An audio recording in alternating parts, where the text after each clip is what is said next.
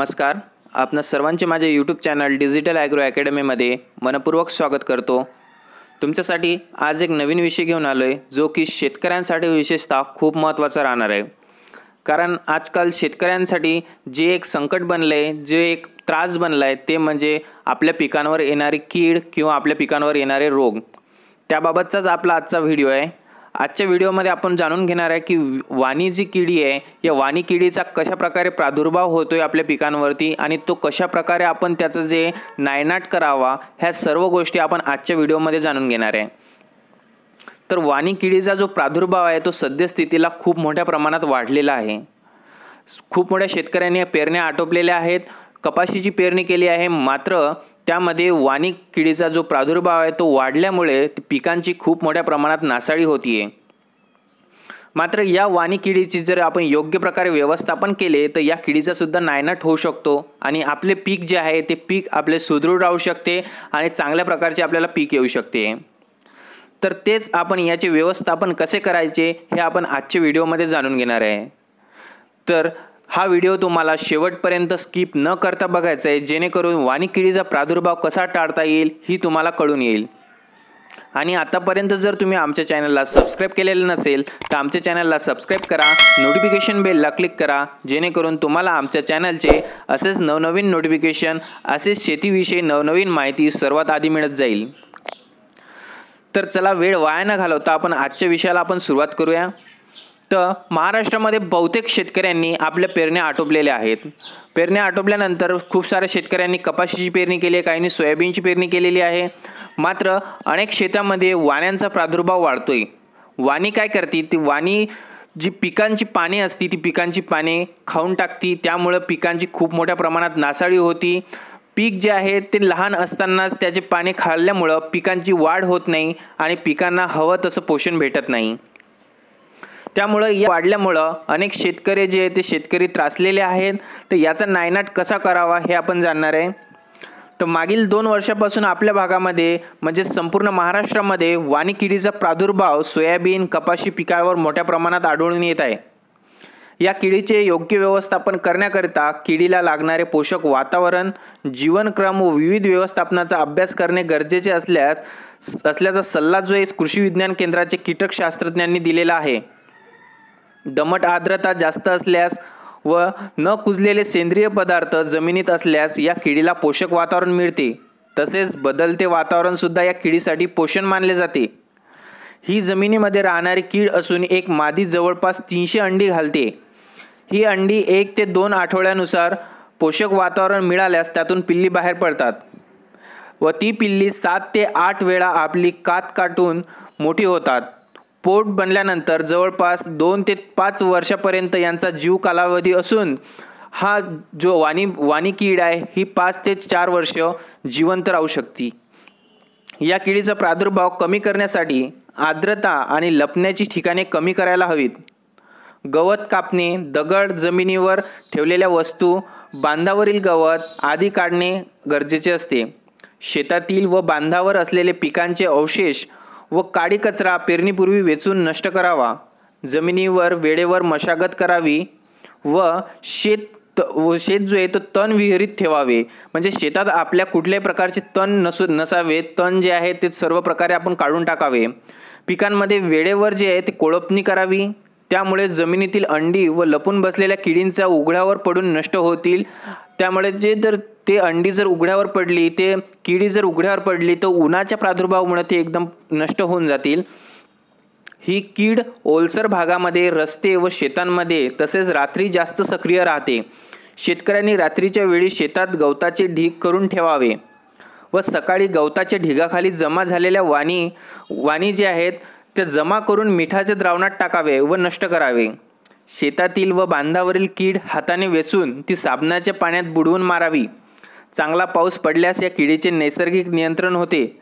निसर्गामध्ये या किडीस खाणारे काही सजीव आहेत. त्यामध्ये प्रामुख्याने उंदीर पक्षी मुंग्या विंचू हे जमिनीतील भक्षक किडी आहेत. जमिनीतील किडीच्या व्यवस्थापनासाठी कार्बोफ्युरॉन थ्री जी चार किलो प्रति एकरी याप्रमाणे टाकावे. तसेच फवारणीकरिता क्लोरोपायरिफॉस वीस टक्के ई सी वीस मिली प्रति दहा लिटर पाण्यामध्ये घेऊन त्याची फवारणी करावी. त्यामुळे काय होईल की आपला जे किडीचा प्रादुर्भाव आपल्याला रोखता येईल वाणी जी किडी आहे त्या वाणी किडीचा प्रादुर्भाव आपल्याला रोखता येईल आणि त्या वाणी किडीचे योग्य प्रमाणे आपल्याला व्यवस्थापन करता येईल. अशा प्रकारे जर आपण केलं तर काय काय सांगितलं मी? व्यवस्थापनासाठी कार्बोफ्युरॉन थ्री जी चार किलो प्रति एकरी याप्रमाणे टाकावे. नाहीतर मग फवारणीकरिता क्लोरोपायरिफॉस वीस टक्के ई सी वीस मिली प्रति दहा लिटर पाण्यात घेऊन त्याची सर्वीकडे फवारणी करावी जेणेकरून ती कीड जी आहे ती नष्ट होऊन जाईल त्याचा प्रादुर्भाव जो आहे तो प्रादुर्भाव कमी होऊन जाईल. तर वनस्पतीचे पाणी आणि वाणी किडीचे हे जे खाद्य आहे हे म्हणजे वनस्पतीचे पाणी. वाणी कीड हे ऑथोपाटचा एक समूह आहे त्याच्या शरीरावर बहुतेक विभागाच्या पायावर जोड्या असतात. आकाराने दंड गोलाकार किंवा सपाट शरीराचे असतात. पिल्ली लहान असताना आणि स्पर्श केल्यानंतर स्वतःचे शरीर गोल करू शकतात. ग्रामीण भागात या किडीला पैसा असे म्हणतात. सर्वाधिक मंद असतात व त्याची उपजीविका जमिनीतील न कुजलेल्या सेंद्रिय पदार्थ वनस्पतीची पाने मृत वनस्पती तर काही जण बुरशी खातात. तर अशा प्रकारे त्यांचं खाद्य आहे. पाने खातात ती पिकांची जी पाने असतात लहान पिकांची पाने पाने त्यांचं एक खाद्य आहे. त्यानंतर वनस मृत वनस्पती जे आहेत मृत वनस्पती एक प्रकारचं त्यांचं खाद्य आहे. तसेच काही वाणींचं जे खाद्य आहे ते म्हणजे बुरशी. बुरशीसुद्धा हे त्यांचं एक खाद्य मानलं जातं. तसेच सेंद्रिय पदार्थ कुजलेले पदार्थ हे सुद्धा त्यांचं एक प्रकारचं खाद्य मानलं जातं. तर अशा प्रकारची ही वाणी कीड आहे. या वाणी किडीचं योग्य व्यवस्थापन करणे खूप गरजेचे आहे. नाहीतर हे शेतकऱ्यांसाठी खूप मोठी डोकीदुखी बनू शकते. कारण आता सद्यस्थितीत पाहता अनेक शेतकऱ्यांनी पेरण्या केल्यानंतर छोटी छोटी पिके वरती आली आहेत. मात्र वाण्यांचा प्रादुर्भाव असल्यामुळं ती पिके जी आहेत त्यांची पाने जी आहेत ती पाने त्या वाण्यांनी सर्व खाऊन टाकल्यामुळे त्या पिकाची वाढ होत नाही आहे त्या पिकाला योग्य ते पोषण मिळत नाही आहे त्यामुळं शेतकरी मोठ्या संकटात सापडतोय. तर ही कीड जी आहे ही कीड जास्तीत जास्त करून जी आहे त्याला पोषक वातावरण म्हणजे पोषक वातावरण मिळाल्यानंतर ती कीड आपोआप त्यांचे प्रादुर्भाव जो आहे वाढून जातो. या किडीला जर आपल्याला नैसर्गिकरित्या जर याचा प्रादुर्भाव कमी करायचा असेल तर तो नैसर्गिकरित्या म्हणजे पाऊस. पाऊस आल्यानंतर या किडीचा जो प्रभाव आहे तो आपोआप कमी होऊन जातो. त्यामुळे कसल्याच आपल्याला बाह्य गोष्टींची गरज लागत नाही. पावसामुळे याचा प्रादुर्भाव एकदम कमी होऊन जातो. मात्र सद्यस्थितीला पाऊस नसल्यामुळं या किडींचं जे प्रमाण खूप मोठ्या प्रमाणात वाढते त्यामुळे शेतकऱ्यांसाठी ही एक खूप मोठी त्रासाची गोष्ट होऊन बसली आहे.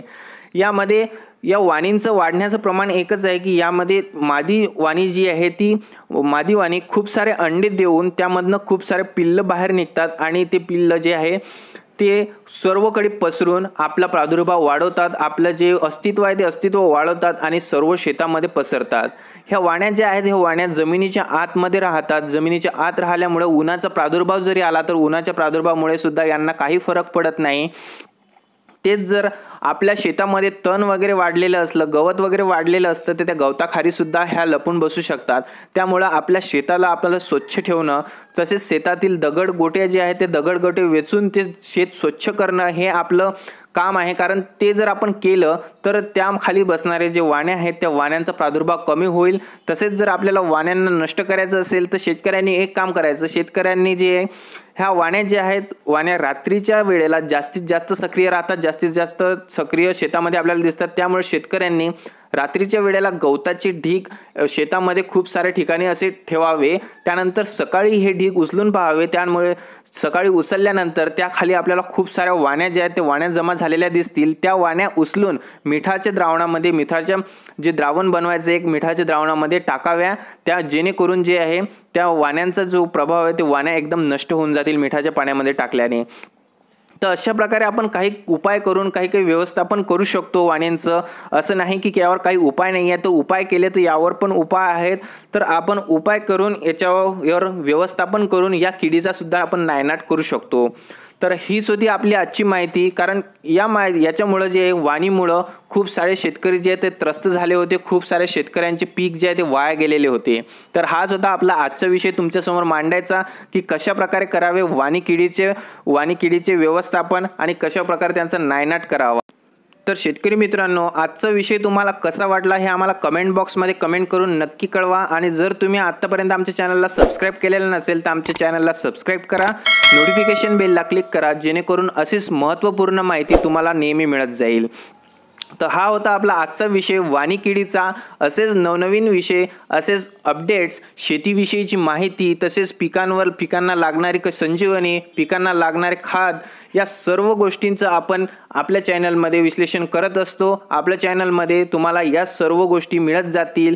त्यामुळं आमच्या चॅनलला नेहमी व्हिजिट करत राहा. अशीच नवनवीन माहिती तुम्हाला मिळत जाईल. तर आता आपण भेटूया एका नवीन पार्टमध्ये एका नवीन विषयासोबत. तोपर्यंत मी इथंच थांबतोय. धन्यवाद.